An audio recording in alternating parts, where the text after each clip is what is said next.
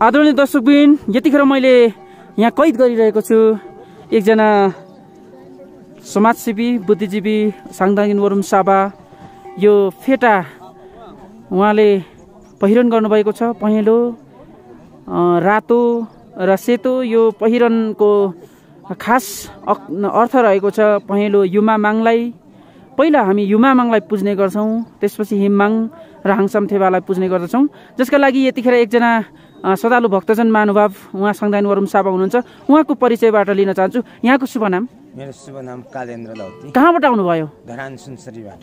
कहिले आउनु भएको अस्तिको दिन हिँडेर हिजो ताप्लेजङबाट हिँडेर आज यहाँ पाथेभरा देवी थानमा कतिजना आउनु भएको छ? हामी निकै छौँ तर हाम्रो मेरो टोलीमा चाहिँ आठजना छौँ।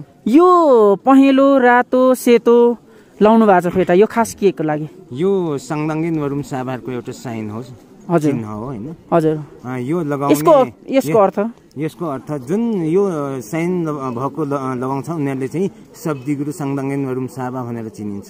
यो पहेँलो रातो सेतो छ? यो सेतोको अर्थ चाहिँ थेवाको निशा हो। हजुर।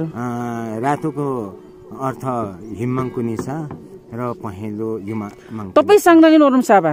कति सालमा लिनुभयो? मैले पचपन्न साल चैत्र नौ गते तपाईँ यहाँदेखि अहिलेसम्म दुई हजार छ्यात्तर साल यो जेठ उन्तिस गतेसम्म किराँत धर्ममा कतिजनालाई प्रवेश गराउनु भयो त्यो प्रवेश गराउने त साङ्दान वरुण साबाको मात्रै महत्त्वपूर्ण भूमिका हुन्छ। मन्त्र दिने लिने होइन?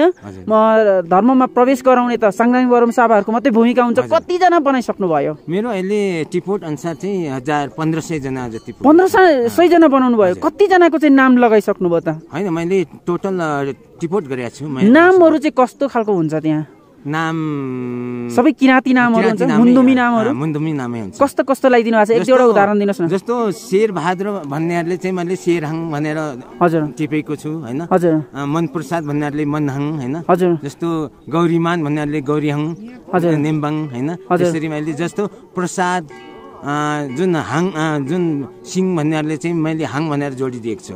मेरो जुन टिपोटमा चाहिँ। अनि तपाईँको तपाईँले के भन्नुहुन्छ? यो चाहिँ नाम हो स्कुलमा चाहिँ फाल्टो बहादुर प्रसाद लगाउनु भन्नुहुन्छ कि स्कुलतिर पनि डकुमेन्टतिर पनि यही हाङ लगाउनु है भन्नुहुन्छ? कुन खालको? स्कुलतिर पनि अबदेखि हाङ नै लगाउनु। अब जन्मेको नानीहरूको नाम जम्मै हाङ हाङमा भनेर जोड्नुपर्छ। त्यो प्रसाद त्यो सिङ त्यो कुमारहरू चाहिँ छोड्नुपर्छ कालेन्द्रज्यू हजुर। जस्तै धर्ममा प्रवेश गराउँदाखेरि कस्तो खालको सन्देश दिँदाखेरि उनी धर्ममा प्रवेश गर्छन् त। होइन त्यसमा चाहिँ शब्दी गरिसकेपछि उनीहरूले के भन्नुपर्छ भने आजदेखि काटमार गरेर सेवा गर्नु हुँदैन मङ्गेन्दाहरू गर्दा काटमार गरेर गर्नु हुँदैन आफ्नो इष्टकुल देवहरूले गर्दा मङ्गेन्दा काटमार गरेर गर्नु हुँदैन होइन? भनेर जुन सन्देश हामी दिन्छौँ। सुरुमा उनलाई फकाउनु पर्यो नि त। कसरी गर्नुहुन्छ? फकाउँदाखेरि चाहिँ यो धर्ममा प्रवेश गर्दा अ, काटमार गर्नु हुँदैन मङ्गेन्दा गर्दा काटमार गर्नु हुँदैन। स्वच्छ फुल फलेदोले हामी सेवा गर्नुपर्छ आफ्नो इष्टकुल देवहरूलाई मङ्गेन्दा गर्दा त्यो काटमार गरेर गर्दा त्यो हाम्रो बाटो होइन योको बाटो हो। त्यो अन्जानमा हिजो जुन सिकाएर हामीले गरेको मात्रै हो त्यो पाप कर्म हो यो धर्म होइन सुरमा अ, सुमार्ग होइन कुमार्ग हो यो बाटो चाहिँ हाम्रो सुमार्ग हो भनेर हामी सम्झाउँछौँ महागुरु फाल्गुनन्द लिङदेनका साक्षात अवतार पूजनीय धर्मगुरु। मैगुमङ सिमाङ लिङदेन आत्मानन्द सिंहज्यूको भनाइ छ नि। म लिनु होइन दिनु आएको हुँ भन्नुभएको। वास्तविक यसको व्याख्या तपाईँको व्यक्तिगत रूपमा के हुन सक्छ? त्यसको अर्थ चाहिँ म लिन आएको होइन म दिन आएको हुँ होइन। म सम्पूर्ण सावाई हाङ किराँतहरूलाई माङमा हाङमा सिद्धि शक्ति होइन अन्नसह धनसह जनसह सम्पूर्ण सम्पूर्ण मानव जगतलाई म दिन आएको हुँ लिन आएको चाहिँ होइन। तपाईँहरूले बुझ्नु मलाई भित्र आत्माले बुझ्नु बाहिर आँखाले तपाईँले मलाई चिन्न सक्नुहुन्न। भित्र आँखाले मात्र मलाई चिन्न सक्नुहुन्छ भनेर गुरुको सन्देश छ। मुकुमलुङ हजुर। यो शक्तिपीठ एसियाको अत्यन्तै शक्तिपीठ क्षेत्र।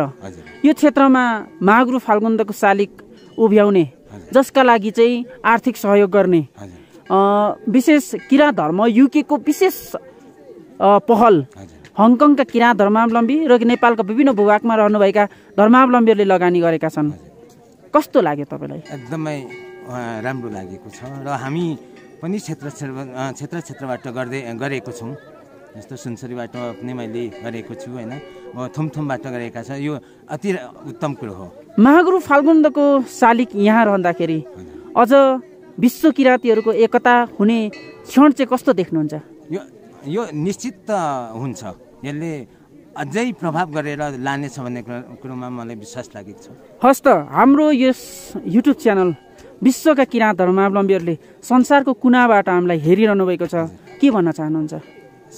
आज जुन यो मुकुमलोङ पाथिवरा डाँडामा होइन यसरी हाम्रो महागुरुको शालिक अनावरण परम पूजनीय गुरुज्यूको हस्तबलीबाट हुँदैछ गुरु आमाको हस्तबलीबाट हुँदैछ गुरु परिवारबाट हुँदैछ। तपाईँहरू फेरि फेरि तपाईँहरू पनि यो ठाउँमा आउनुहोला र सहयोग गर्नुहोला यो ठाउँलाई। यो ठाउँलाई अझै सुन्दर सुनमा सुगन्ध हामीले सम्पूर्ण क्षेत्र क्षेत्रबाट गर्नुपर्छ बनाउनुपर्छ यो ठाउँलाई। पर्यटकीय स्थल अझै बनाउनुपर्छ भन्न म चाहन्छु। हस् धन्यवाद सेवारो नोगेन